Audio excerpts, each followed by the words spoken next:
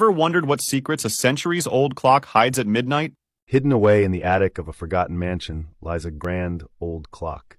It's said that every night at exactly midnight, the clock ticks backward and time itself bends within the mansion's walls. Sarah, a curious and fearless historian, had heard tales of the clock's odd behavior. Despite warnings, she decided to witness it herself. As the hands approached twelve, she waited, her heart pounding. The clock struck midnight, and suddenly silence enveloped the room. The air grew cold, and shadows danced around her. She turned around and faced a mirror that wasn't there before.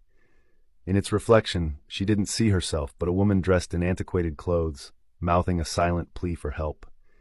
Sarah reached out, but was pulled back as the clock resumed its forward march. Reluctantly, she fled the mansion, the echo of desperate whispers fading with each step. To this day, Sarah's experience remains a mystery, but it's one she is determined to solve. Follow me for more horror stories